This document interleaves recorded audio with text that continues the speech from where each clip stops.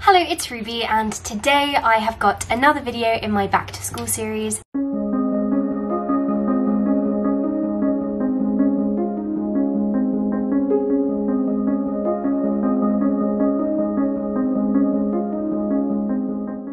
Today I'm going to be giving some advice on how to create a good study space, especially if you're going into maybe year 10, year 12 and you haven't had to spend so much time revising previously. Um, I hope that this is going to be especially helpful for anyone who has online school this year and a continuation of that because especially if you're working at home all day, having a really solid space where you can be productive is so important. And obviously, everyone is in completely different circumstances, and it's not going to be possible for everyone to have all of these things at once. And even if you can't get all of these, just trying to get a few of them should help you to be more productive in the new academic year. So, for the purpose of this video, I'm actually going to be setting up a new study space using my old desk. It's like this old school desk that my dad rescued off this bonfire pit when I was like six years old and it was my desk before this one and it's currently downstairs in the living room and I'm going to be setting it up in accordance with this advice you can see step by step how to actually set up a new study space. Okay so the first thing that I would recommend is making sure that there is good lighting. Of course it's important to be able to see what you're doing when you're studying. What I always say is if you can try and get natural light so try and move your desk to a window because natural light is nice to study by. I also really do think that there's something quite mindful about being able to work with an outside view ahead of you uh, because it makes everything feel less closed off and it just makes you feel less isolated if that makes sense so especially if you're going to be spending long hours at your desk I think having it by a window is really useful if this isn't an option, then make sure you have a good lamp, which is bright, so that you can get good lighting still when you're working. Um, and also the lamp is actually just important generally for when you're studying at night and daylight obviously isn't an option. Having a clean space is key, so before you get started with anything, clean your desk. Give it a good disinfect. Um, you can really feel the difference when you sit down to a clean desk. You can kind of tell when it's dirty. Whilst you're at it, make sure to tidy it regularly. Personally, I tidy my desk space twice a day, once in the evening and once at around lunchtime, and I clean my desk maybe once every two days, but it could be once every five days, just it depends. Whilst you're at it also, clean your laptop or your iPad or whatever thing you use most often because like the desk, it will pick things up. They say that a clear space is a clear mind and I really do think that this is correct. Try and make your actual desk space as minimal as possible so don't clutter it up with pen pots etc. You know make sure that you've got enough space to actually work because at the end of the day that is the main purpose of your desk. So we've got a clean space, it's disinfected, it's tidy. The third thing we want to do is actually equip it with the stationery that we will need. What things will you need while you're at your desk? I recommend keeping all of the stationery that you use on a regular basis really accessible so that as soon as you need that highlighter you can just grab it from your desk like so, you've got it. If you need a pen, you can grab it. It's not something that you have to faff around looking for because the more opportunity you give yourself to faff around and look for things, the, the more time you're going to end up being distracted, procrastinating. You want to minimize distractions, and I do think that having everything easily accessible is a great way to do this. So make a list of the things that you do use on a regular basis. Uh, maybe tier it. So tier one is things that you use every 10 minutes. Tier two is things that you use once a day. Tier three is things that you use once a week or once a month. And then you can develop your storage solutions based on how often you actually do use it. So I have pen pots for the pens that I use on an hourly basis. Then I've got a mini storage unit under my desk for things that I use maybe every three hours and then I have boxes for things that I use maybe once a week that I don't use very often. It also means that your desk doesn't get too cluttered. Probably if you've been watching my videos for a while, you'll know that I am a big advocate for turning work into play. And I think one of the great things about a study space is you can help to facilitate that mindset shift just through your workspace.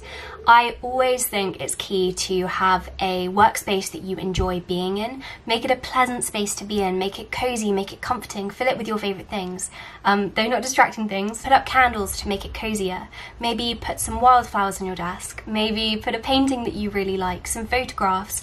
Um, I have this wonderful academic dark academia mood board on my wall which is filled with all of these things that I love and it does make me feel motivated. Like having an aesthetic such study space where you want to be, where you want to spend your time really does make the world of a difference. So do whatever you can to make make your space somewhere that you that you like to be. On the subject of candles actually, I would recommend having a signature candle scent that you can burn in your room. If you can't use a candle then I'd recommend just having like some sort of home spray that you spray before you study. But scent memory is a thing, like if you can find a scent that you associate with being productive and with studying, with your study space and you light that candle every time you feel productive, then when you do sit down and you light that candle at the beginning of a study session, you are just going to tell your brain that you're in that productive mindset again. Actually, on a similar grain, if you can, only use your desk space for productive things or like study related things because our brains associate spaces with activity. For example, when I sit down at the dinner table, I know that I'm going to eat and so my brain expects to be fed. Whereas when I sit down at my desk, my brain expects to work hard and to study and to do something pro productive and try not to confuse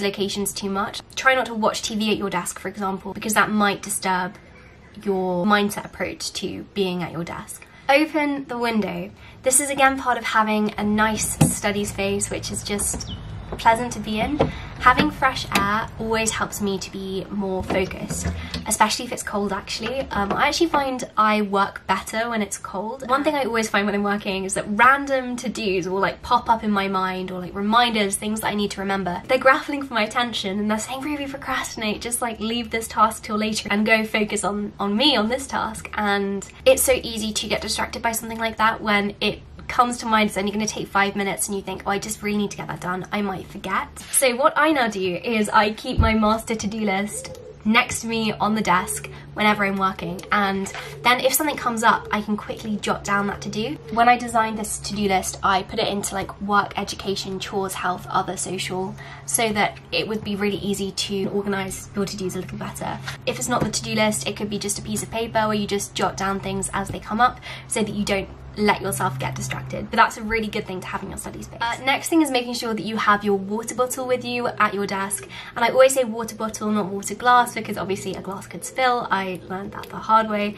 Um, it could spill all over your notes or laptop or something. So just make sure you have a water bottle. But it is key to keep hydrated when you're studying. Similarly, having snacks, healthy snacks, which are going to rejuvenate your brain are really key. So I think it's a good idea to plan your snacks ahead of time. When we're hungry, we're more likely to make bad, quick decisions with the food we eat. It's easier to grab a packet of crisps than wash and cut off an apple or a carrot and so just having these snacks ready prepared is, is, is a good idea and if they're not going to spoil in your room then literally just keep them by your desk so that when you are hungry you can just go ahead and tuck in.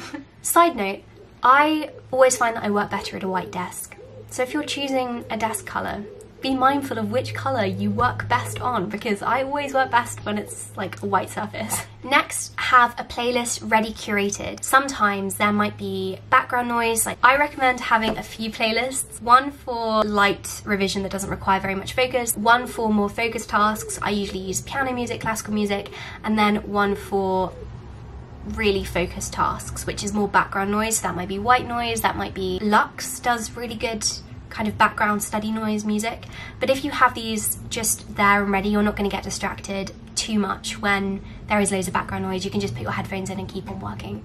I would recommend putting up a sign on your door when you're studying if you find that you keep on getting distracted by people in your family. So for me, I always had my parents would like always be coming into my room when I was working. And so now I have a sign on my door that says, please don't come in, I'm working. And so that means that they're less likely to come in when I'm studying and distract me. And then you can just turn this over when you're finished with your work.